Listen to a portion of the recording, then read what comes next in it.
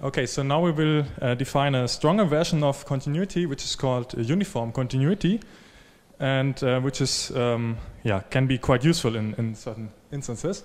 So this is the next uh, definition. So we take a subset d of the complex numbers, and we say that the function f, com complex valued function on this um, subset d, is called uniformly continuous. Uh, what do you think you're doing? Oh, It's my lecture. oh, I'm so sorry. Oh, I Jesus. know. Do All right. Oh, please go on. I, I so I'm sorry. Do your own course. I'm so sorry. These I'm, colleagues. I'm looking. Okay. sorry. You leave this room for five minutes and it's, yeah, these colleagues. Okay, sorry. Anyway. yeah. As Maximilian just told you, we will introduce a stricter notion of continuity next, so-called uniform continuity. And uh, we will not make that much use of it. Um, we will see some applications of this later on, and it, it will indeed turn out to be useful, but we will see the connection to compact subsets and to functional compact subsets uh, in a few moments. Okay, yeah, let me continue. yeah, at least he started correct. Okay. This is uniformly continuous uniformly continuous if the following holds. And it's again an epsilon delta definition. Oops. Sorry. Ah. Okay, if the following holds. For all epsilon bigger than 0, there exists delta bigger than 0, such that the following holds. f of x minus f of y in the absolute value is smaller than epsilon. Uh, and this now for all x, y in D with x minus y to the absolute value smaller than delta. Okay, now if I would have an audience in this lecture hall, uh, I would ask the audience, what's, uh, this looks a lot like the definition of continuity itself. What's the difference? Um, and uh, yeah, maybe you could think about this a bit. Um, the difference is the following. Um, when we define continuity, we always define it at the beginning with respect to a point with respect to some fixed point A. And then we said it's continuous in general if it's continuous at each point, but the definition was kind of point-wise. So for each point, we had this definition. Here, there's a big difference because um, usually, so we would have here f of x minus f of a for some fixed a which wouldn't change, and we would only allow x to vary with respect to uh, a. So we only consider points which are close to this fixed point a, which have this this, uh, which are delta close to this point.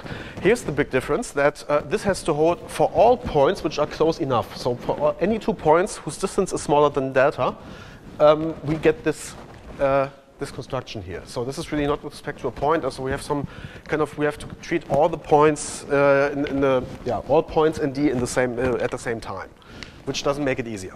Um, so this is kind of a now, yeah, the, the, the idea is kind of, uh, so maybe to make it explicit, so if we would have a certain point here, this would mean that for each epsilon bigger than zero, we would have some point, but this, uh, we would have some delta, but this delta would then depend on the point. Here, this would actually mean we take all points and we can take the same delta for each point. So this delta wouldn't depend on this point A anymore, right? So we take the same delta at each point here. And this is indeed something stricter than continuity. Um, I'll give you an example. Uh, 336. Okay, sorry. Before, uh, yeah. I, oh, microphone issues, sorry. Um, I won't make this explicit, but um, as you can easily see from this definition, if something is uniformly continuous, uh, if a function is uniformly continuous, then it's continuous in every point in the usual sense. Since we can just enter a fixed point for y, and then we would achieve the definition of continuity if we just keep y fixed. Okay, um, so now so every uniformly continuous function is continuous, but the converse does not hold. There are continuous functions which are not uniformly continuous. Uh, and I will give you an example which is actually not that complicated. So we take the half-open interval from 0 to 1 to r. f of x is 1 over x. This is continuous uh, by the roots um, from the previous section. Uh, this is continuous but not uniformly continuous.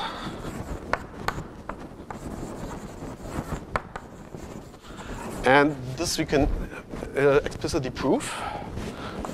Uh, uniformly continuous.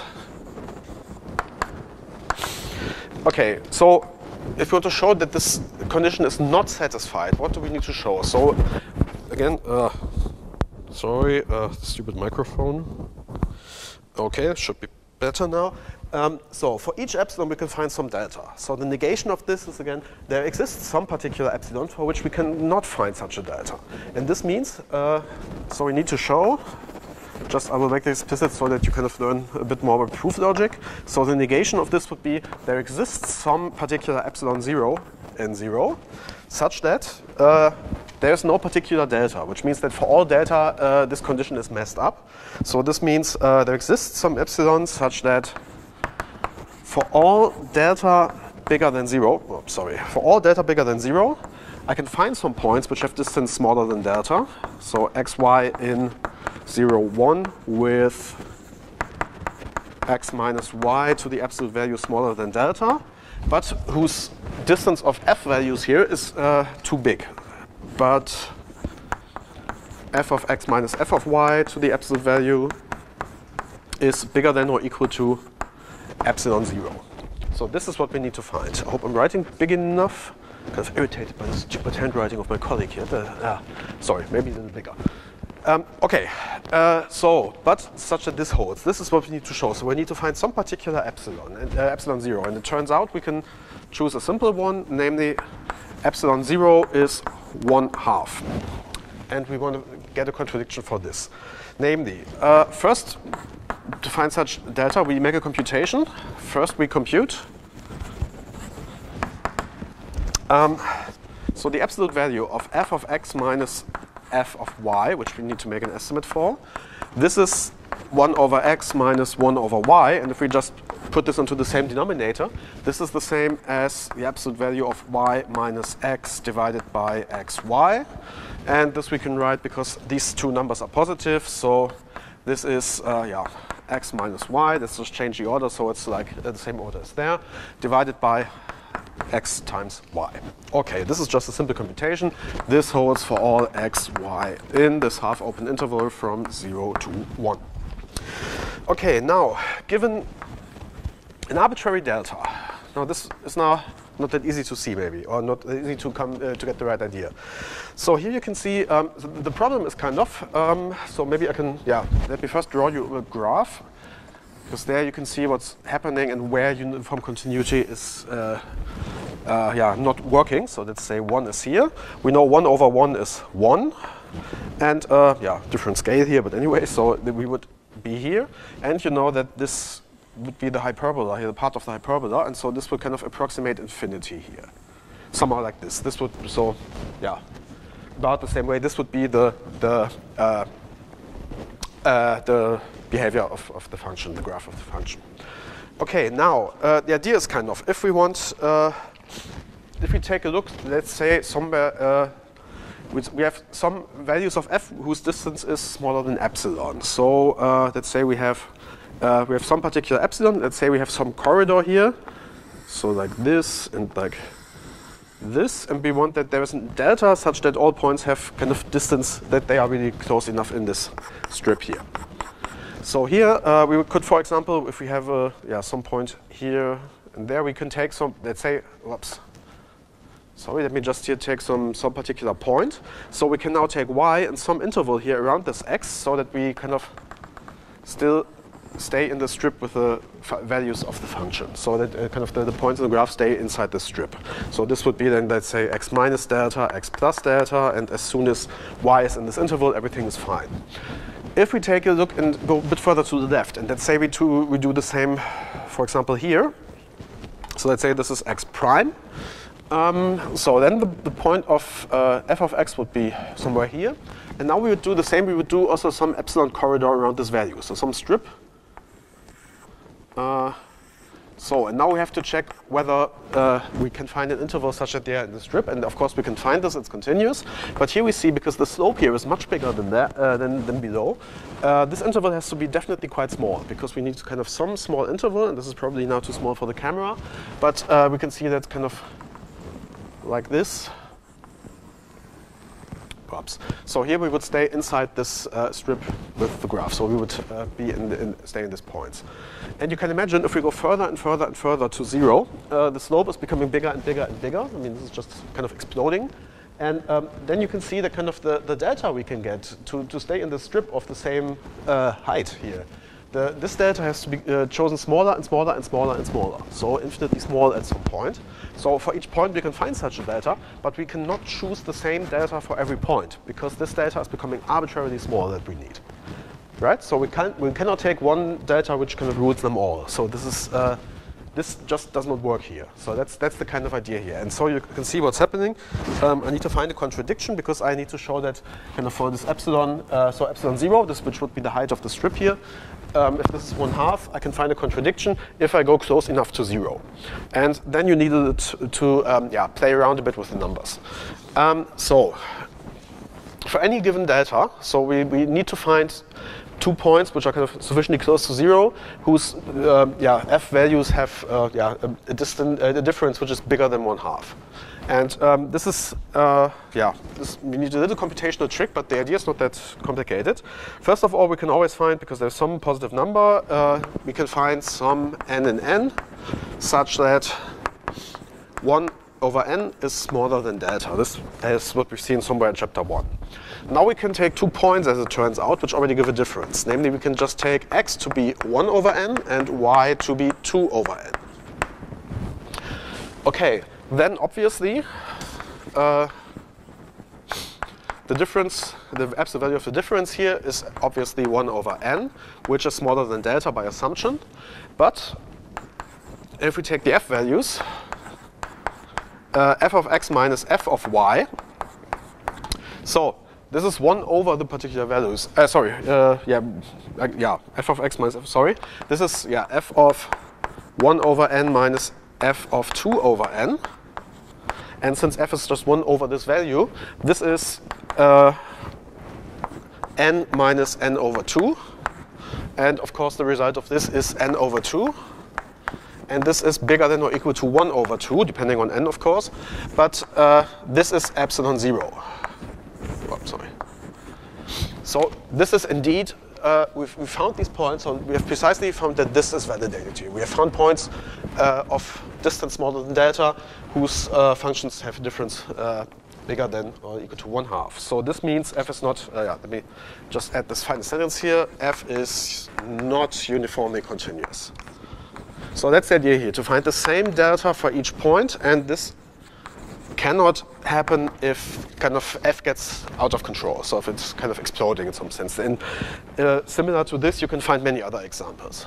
Um, okay for example, you could also show that um, if we take the whole, uh, all of R and define the function f of x is x squared all over R, there you see kind of that the, I mean, we will see this more precisely with derivatives then where we can kind of get a notion of slope or something, but, but kind of this also increasing and increasing and the slope of this is getting bigger and bigger, and there we will have the same difficulty. So you could also, like if you want to do a little, uh, little exercise, try to prove in the similar way that f of x is x squared on the whole R, so on, on all of R, that's there, it's not uniformly continuous.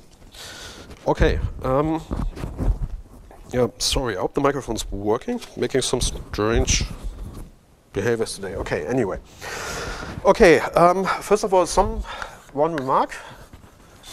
Namely, there's one particular uh, class of functions which are uniformly continuous. And as you can imagine, uh, to show that some function is uniformly continuous, this definition is again a little tricky. So it's not that easy to show this with the epsilon delta definition. But we can see that every Lipschitz continuous function is uniformly continuous.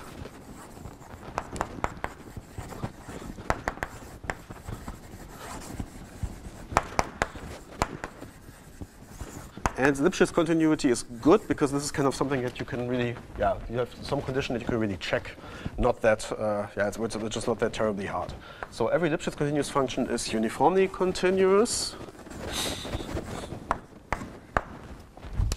Okay, uh, and this is actually we've already proven this because if you take a look, uh, I have proven that every Lipschitz continuous function is continuous. But actually, if you take a look at the proof, I've shown more because the proof also can be used to say that it's uniformly continuous.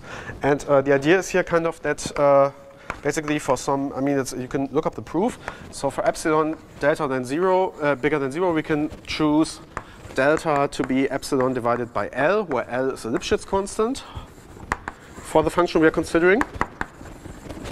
And uh, then you can check that it's really uniformly continuous. And if you take a look at the proof, you see that we have indeed checked this already. Okay, um, yeah, the problem is now that I cannot right now already give you some motivation for this. We will see some, uh, some applications of this uniform continuity later and that it's really a good thing to have. Uh, but I want to, uh, oops. I want to give you a theorem which is kind of the reason why I am studying this right now, because it's, uh, yeah, if we have compactness of our uh, domain, then we can say some useful statement about uniform continuity, namely the following. That K be a compact subset of C, and F be a compact function from K to C. Oops, continuous. Uh, then we automatically get that F is uniformly continuous. So this is also a useful criterion. Later on we will see some results that only hold for uniformly continuous functions. And so if we have, this is basically the easiest way to get uh, uniform continuity by getting continuity and checking that the domain is compact. Um, okay, uh, so let's prove this.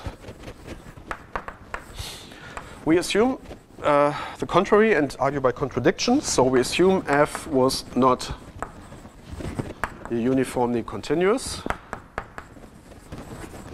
Okay, and then we can now do the same as in the uh, proof there. So we can find, uh, sorry, as in the example there. So we have some epsilon 0 bigger than 0, such that for all delta bigger than 0, there exists uh, x, y in k with distance x minus y smaller than delta, but f of x minus f of y bigger than or equal to epsilon 0, to the absolute value, of course. So this is what we need to check. Um, so in particular, we're going to argue using sequences again, because that's the easiest way to handle compactness in this case. Uh, in particular, we can choose delta to be 1 over n. So uh, we have some, uh, yeah, assume uh, we have some epsilon 0, which is some value that we don't know, but it's just some number. But um, yeah, in particular, we can now, uh, yeah, for each n and n, if we choose delta to be 1 over n, we get some points x and y, and we, are, we index them by n. So we can find some xn and yn in k with xn minus yn to the absolute value smaller than 1 over n, but f of xn minus f of yn to the absolute value bigger than or equal to epsilon 0. Okay, um, now, of course we take now the sequences here. Uh, the sequences xn and yn, and we start by just taking, it means are just two sequences, uh, and we just choose one of them, we start with the first one.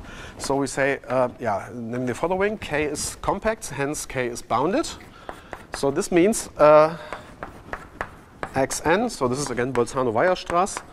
If we take the sequence xn with this property, this has a convergent subsequence.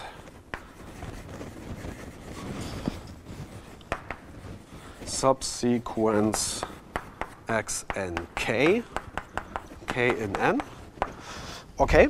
Uh, and uh, yeah, let me maybe finish this on this blackboard in the back. So here, this is the last thing I can write here. So, and again, since k is compactness, k is closed. So this means the limit of this convergent subsequence, limit k to infinity of x and k, has to be again in k. Okay, uh, let's give this value a name. Oh, sorry, I will call this a. So a is the limit of this convergent subsequence.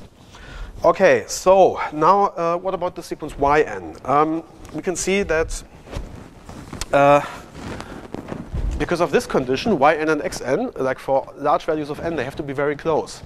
Uh, and uh, to make this precise, since uh, uh, yeah, the limit of k to infinity of x n k minus y n k. Okay, so uh, yeah, by assumption, this has to be smaller than, so just by choice of these values. This is smaller than or equal to, uh, strictly smaller, but this doesn't matter, uh, 1 over nk, right? Because this is the nkth in this term. And here we know that this is a subsequence of 1 over n, and we know that, so this is the same as the limit of 1 over n, and this is obviously 0. Okay, and since this is, of course, because these absolute values, this is bounded from below by 0, we get by the uh, yeah, squeeze theorem that uh, this goes to 0. So the limit from k to infinity of x n k minus y n k to the absolute value is 0. And since xn converges, this implies, with a little computation, which I skip because this is easy to see, limit k to infinity of y n k is a as well. Okay, so we have this convergence here. Okay, so now we have two sequences both converging to a. Um, uh, okay. Ah, no. Uh, yeah, I have to handle blackboards. Uh, okay. Uh, yeah, no. sorry again. So we have, sorry, we have shown that these two are going to the same point.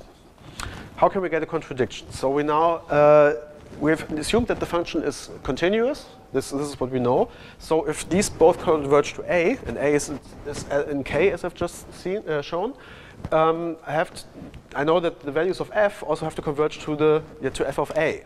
So uh, since uh, sorry, um, here we need the continuity. So f is continuous. So this means that the limit of k to infinity of f of x and k is f of a, and this has to be the same as the limit of k to infinity of y, uh, sorry, f of y and k.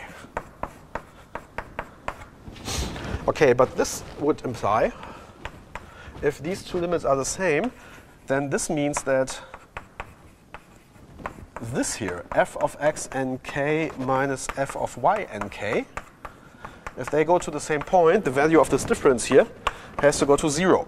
But this is a contradiction since, uh, look at how x and y were chosen. So, uh, where is it? There. We know that these differences are always bigger than or equal to some fixed epsilon zero. So also the limit cannot go below this by the rules of bounds and limits and so on that we've seen. So this is a contradiction. Uh, so let me just finish this here. Contradiction. Since uh, we know that f of x and k minus f of y and k to the absolute value is always bigger than or equal to epsilon 0 for all k in n. So we've achieved our contradiction, and so it follows that f is uniformly continuous.